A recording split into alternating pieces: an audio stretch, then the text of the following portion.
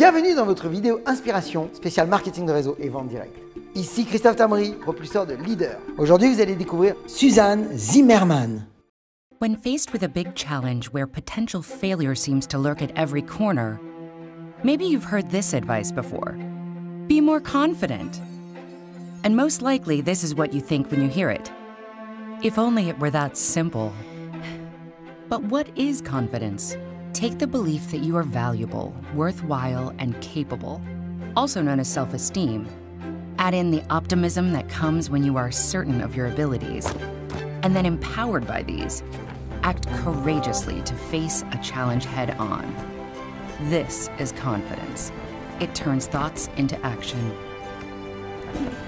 So, where does confidence even come from? There are several factors that impact confidence. One, what you're born with, such as your genes, which will impact things like the balance of neurochemicals in your brain. Two, how you're treated. This includes the social pressures of your environment.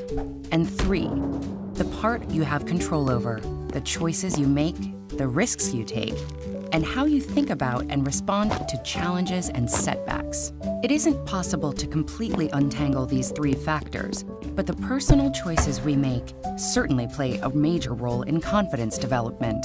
So, by keeping in mind a few practical tips, we do actually have the power to cultivate our own confidence. Tip 1 A quick fix. There are a few tricks that can give you an immediate confidence boost in the short term. Picture your success when you're beginning a difficult task. Something as simple as listening to music with deep bass.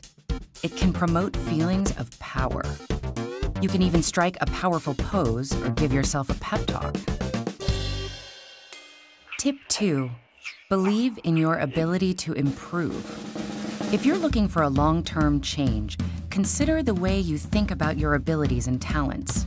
Do you think they are fixed at birth? Or that they can be developed, like a muscle? These beliefs matter because they can influence how you act when you're faced with setbacks. If you have a fixed mindset, meaning that you think your talents are locked in place, you might give up, assuming you've discovered something you're not very good at. But if you have a growth mindset and think your abilities can improve, a challenge is an opportunity to learn and grow. Neuroscience supports the growth mindset. The connections in your brain do get stronger and grow with study and practice.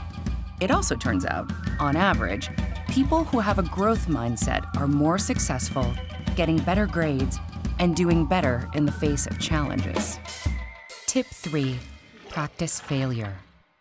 Face it, you're going to fail sometimes. Everyone does.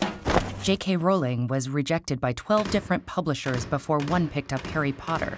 The Wright brothers built on history's failed attempts at flight, including some of their own, before designing a successful airplane. Studies show that those who fail regularly and keep trying anyway are better equipped to respond to challenges and setbacks in a constructive way. They learn how to try different strategies, ask others for advice, and persevere.